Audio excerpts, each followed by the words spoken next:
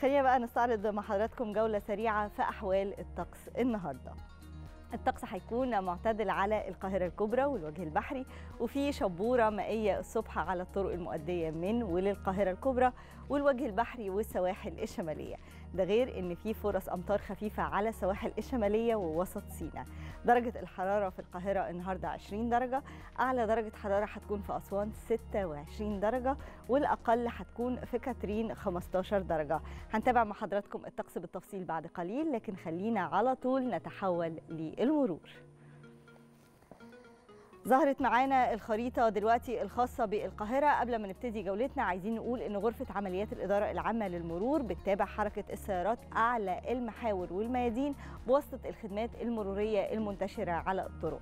كمان بيتم مراقبة حركة السيارات بواسطة كاميرات المراقبة لرصد أي كثافات مرورية بالمحاور مع نشر الأوناش المرورية بالطرق طبعا لرفع أي معوقات مرورية سواء حوادث أو أعطال. ربنا يسلم طريقكم جميعا.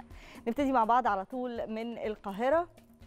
هنشوف مع بعض طريق الكورنيش اللي جاي من ميدان المؤسسة. هنلاقي فيه بعض الكثافات المرورية البسيطة واللي رايح لغاية عبد المنعم رياض. برضو هيلاقي بعض الكثافات. لو كملنا لطريق الكورنيش للي جاي من المعادي هنشوف كثافات مرورية بسيطة عند شارع القصر العيني للمتجه للتحرير. وهنلاقي كمان كثافات متحركة على الكورنيش من المعادي وصولا لمناطق وسط البلد. ولو بصينا بقى من عند أثر النبي لغاية القصر العيني وقدام وزارة الخارجية وماسبيرو هنلاقي برضو بعض الكثافات البسيطة. شارع رمسيس لو خدناه وصلنا لغاية العباسية ومحور النصر كل ده ولغاية ما نوصل للمنصة هنلاقي كمان بعض الكثافات وشارع عباس العقاد والطيران وهنلاقي طبعا أماكن غلق الإشارات بالميادين منها ميدان التحرير وروكسي وهشام بركات. كل ده هنلاقي فيه بعض الكثافات المرورية البسيطة لغاية دلوقتي. لو بصينا بقى على كوبري أكتوبر المتجه لمناطق الإسعاف ورمسيس هنلاقي سيولة مرورية واللي هيكمل أعلى الكوبري في اتجاه مناطق غمرة والعباسية ومدينة نصر هنلاقي بعض الكثافات المرورية. أما بقى لو بصينا على محور صلاح سالم المتجه لنفق المرغني ومصر الجديدة هنلاقي ما فيهوش أي مشكلة وفي سيولة مرورية. نروح مع بعض للجيزة اللي بتبقى عادة أكثر ازدحاما بسبب أعمال الإنشاءات اللي موجودة في أكثر من مكان. هنبتدي من شارع الهرم اللي بيشهد طبعا ظهور للكثافات اللي هتزيد مع دخول ساعات الذروة الصباحية بسبب غلق الطريق في تقاطعه مع المريوطية لإنشاء محطة مترو. اللي أول ما تنتهي الوضع هيختلف تماما وهيبقى فيه سيولة مرورية شديدة كمان. لو لقينا بعدها بقى كملنا هنلاقي بعض الكثافات بمناطق مشعل وكثافات في شارع العشرين ولغاية الطلبية وهنلاقي كمان كثافات متحركة للمتجه لكوبري الجيزة المعدني وشارع فيصل بمنطقة الطوابق ولغايه العشرين.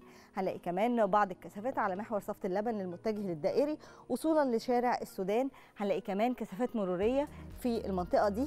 طبعا عندنا بديل هو محور عرابي اللي بننصح بالتوجه إليه.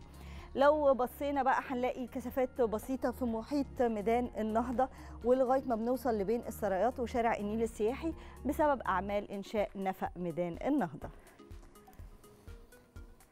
نروح القليوبية والطريق الزراعي اللي جاي من القاهرة بيشهد سيولة مرورية لكن طبعا هنلاقي كثافات مرورية بتظهر من الساعة 5 فجرا قبل مطلع الدائري بحوالي 3 كيلو وبعدها بنلاقي بعض الكثافات قبل ميدان المؤسسة.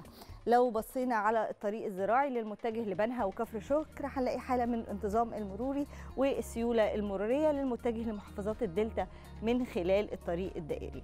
هنبص هنلاقي بعض الكثافات البسيطة قدام اللي جاي من منطقة المرج ومؤسسة الزكاة ولغاية منزل الطريق الزراعي.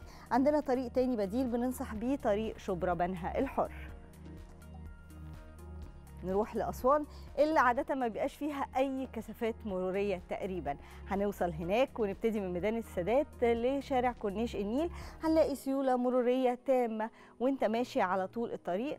قد تجد بعض الكثافات المرورية عند منطقة الفنادق وبعدها التمركز ده مش هيبقى موجود وهنلاقي سيولة مرورية تامة.